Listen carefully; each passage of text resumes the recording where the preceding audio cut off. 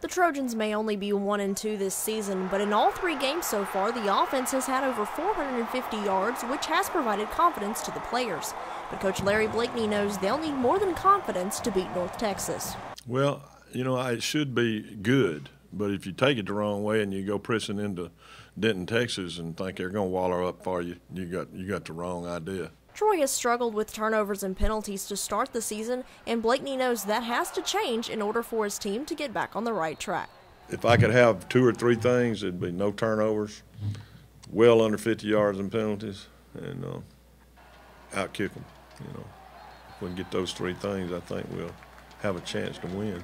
I uh, truly believe if you know we you know we take care of the football on offense and we just continue to you know keep moving it like that, I think it's going to be a good season for us. We just got to take care of it. In four of the last five meetings with North Texas, Troy has scored over 40 points.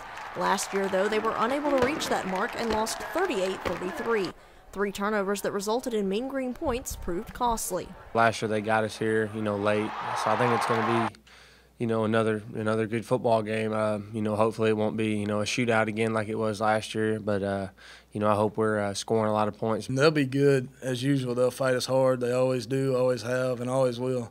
It'll be a, a hard fought game for four quarters. They're gonna be jacked to come out and play us. You know, everybody always seem to be you know they're on their seats when we come to town. Getting back into conference play is important since the Trojans are already 0 1 in the Sun Belt.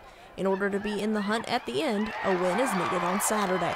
It's gonna be big. I mean, as far as comfort wise, I mean we we behind in the conference, so this definitely is a must win for us. It's huge. You know that these conference games are really the ones that matter the most. You know, to get to that ring, we we got to go. We got to run the house from here on out. You know, obviously our goal is to. Uh, win the Sun Belt, so that starts this week. You know, out in Denton, Texas. Uh, you know, with a pretty good you know football team out there.